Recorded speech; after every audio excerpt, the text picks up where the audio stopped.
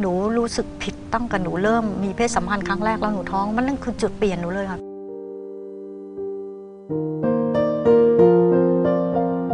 สุดท้ายไปทำงานที่พัทยาตามที่เพื่อนบอก ก็ไปนั่งทำงานอยู่นั้นได้ 4 วัน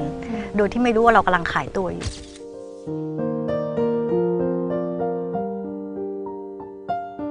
การเอามาเปิดตัวว่าเราเคยทำอาชีพขายบริการมีผลกระทบอะไรไหมคะ โอ้โหเป็นโสเภณีด้วยติดคุกด้วยมันมันไม่มีอะไรดีเลยนะ